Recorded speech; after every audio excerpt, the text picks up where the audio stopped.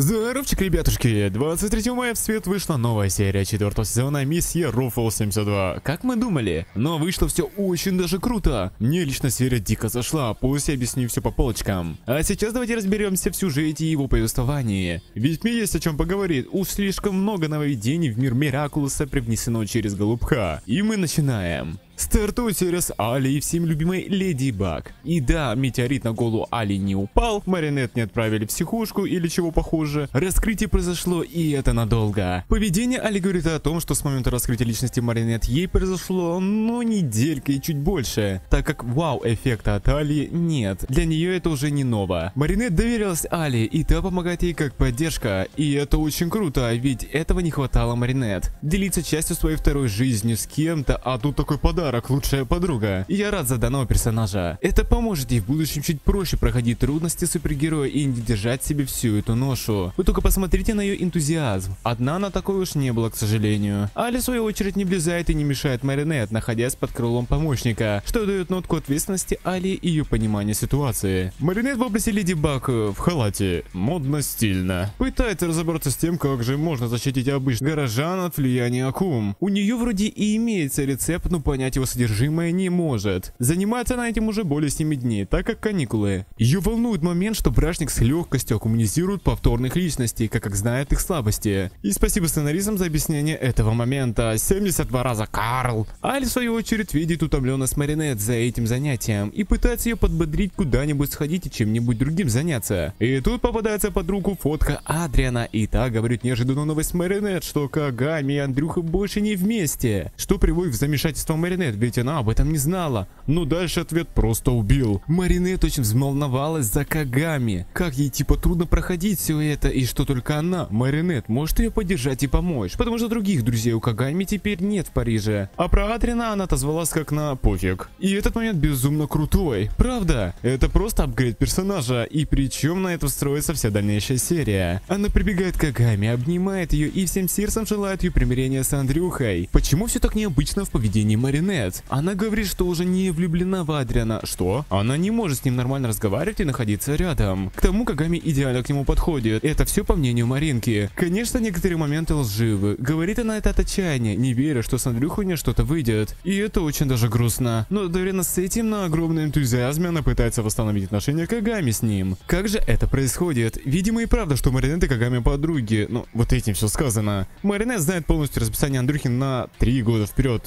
Офигеть, стал сталкера ЛБ, и ведет Кагами к Андрюхе, который снимается в рекламном ролике, где ему нужно будет прыгнуть якобы с верхушки Эйфелевой башни, голуби и нырнуть в водичку. Такова задумка. С помощью хитрости маринеты Кагами пробирается на место съемки – бассейн. Но нужно уточнить, что Кагами не в восторге от этой идеи. Она в серии ложь разочаровалась в Андрюске и не сильно-то хочет и мириться, но против Маринет не идет. Так Маринет все пытается встретить взглядами своих друзей, чтобы их сердца снова забились от любви, но нет. Все происходит наперекосяк. Что касается месье Рамье. Он работает. Вот такая вот новость. Он управляет голубями для этого рекламного клипа. И задачей его становится передать розу голубю в зубы Андрюхе. Но все идет наперекосяк из-за Маринки, что выбешивает продюсера, который думает, что во всем виновата некомпетентность Рамье. И тогда происходит это.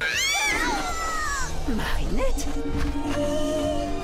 Это становится последней каплей, и тот срывается и прогоняет Рамье, который чуть не потерял своего лучшего друга, Голубя. Чем и пользуется бражник, купивший электромонтажник, и коммуницирует Рамье уже в 72 раз, даруя ему силу перевоплощать людей голубей. И под жаркую тузу попадает Адриан и превращается в свою аллергию. Маринет успевает убежать от голубей, но становится запертой. К ней присоединяется Плак, который докладывает о отдыхе его хозяина, и Леди Баг придумывает поистине гениальный план. С помощью Ренны Руш создается иллюзия героев, что я и предполагал в прошлом видео, который которые попадают в бассейн и загоняются в ловушку. Им остается только отдать свои талисманы, что они и делают, и бросают их в воду, куда может нырнуть только сам месье Голубь. Челики взятые левые, так что не волнуемся. Хотя никто и не волновался. Тот прыгает в воду, брачник такой, о, да. Но тут выпрыгивает плак и прилетает с аккумулизированным предметом к Леди Баг, делавшую дырку в двери с помощью супершанса. Таким образом они побеждают злодея. Леди Баг говорит Рамье, что не может остановить его коммунизацию, но в разговор присоединяется Рена Руш, который говорит, а ты ответ. Она не отгадала конкретный рецепт пинти-плюшки от Акум, но смогла догадаться, что Леди Баг ее способность и есть рецепт. И каким-то магическим образом Леди Баг все осознает и делает апгрейд своих сил. Сделаем вид, что мы все поняли, скорчим умные лица. Таким образом она создает первый талисман от Акум и отдает его Рамбе, который очень этому рад. И начинается самое интересное. Под дождиком и зонтом начинает разговаривать Маринет и Кагами по душам. Кагами говорит, что Адриан идеальный и отлично подходит, но только для Маринет. Кагами, видимо, полностью решила забыть об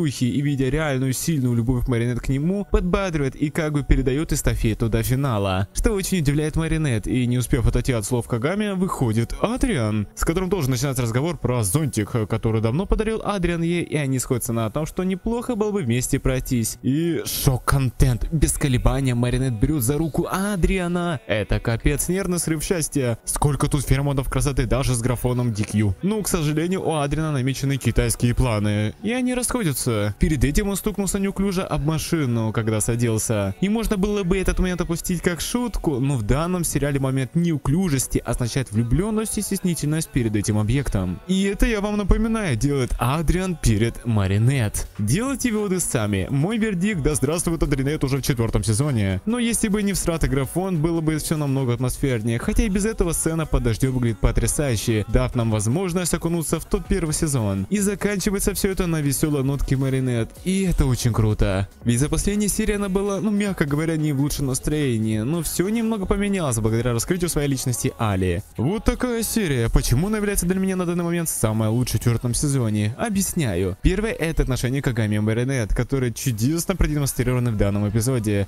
благодаря чему отношение к Кагами у меня повысилось. Они вроде и противоположны по характеру, но отлично дополняют друг друга. Я вообще обожаю в этом сериале коллабы героев. Второе это Аля, она была крутой в этом эпизоде, как подруга и как герой. Третье это реально новая реализация плана по одержанию победы над злодеем. Леди Баг грамотно закомбинировала то, что имеет у себя в руках, и не выходя из комнаты смогла победить сильного злодея, что очень даже круто. Четвертое новые силы, и это важно для дальнейшего сериала. А также пятое новый ап уровня Адринета, ведь на весь эпизод намекает на то, что Адринет уже скоро или будет страстно расти, что не может меня не радовать. Да, очень уж быстро слили Луканет и Адригами, за что я немного осуждаю, но поживем увидим. Ну и серия была сама по себе смешная и забавная, что не скажешь о мелодраме с первой серии, которая не была плоха, но и затягивать с этим не стоит. Из минуса могу уточнить, это такой себе графон для такой серии. И Катануара, его просто нет. За последней серии его как герой немного пренебрегают, что капельку меня расстроило. Не стоит сильно ходить эту серию, еще впереди немного больше половины чертова сезона. Ждем, так сказать. Пишите свое мнение о серии Миссия Глуб 72. Уж она-то достойна упоминаний. А я просто останусь довольным. Всем спасибо за просмотр, до новых встреч.